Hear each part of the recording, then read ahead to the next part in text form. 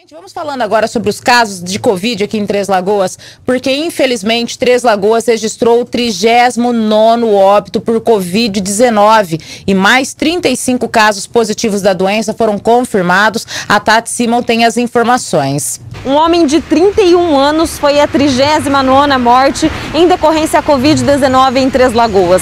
De acordo com o Hospital Auxiliadora, a vítima ela era obesa e estava internada desde o último dia 9, após ser transferida da UPA com histórico de falta de ar e tosse há oito dias. O paciente foi diagnosticado com taquicardia e encaminhado para a UTI Covid no mesmo dia no hospital. Ele precisou ser entubado e testou positivo para a Covid. O paciente não resistiu e foi a óbito nesta segunda-feira. Esta foi a terceira morte ocorrida somente nesta semana e a quarta em outubro, por conta do novo coronavírus na cidade. Além deste óbito, mais 35 casos foram confirmados nas últimas 24 horas. No total, são 2.575 casos confirmados desde o início da pandemia até o momento. O total de pessoas hospitalizadas são de 13 pessoas.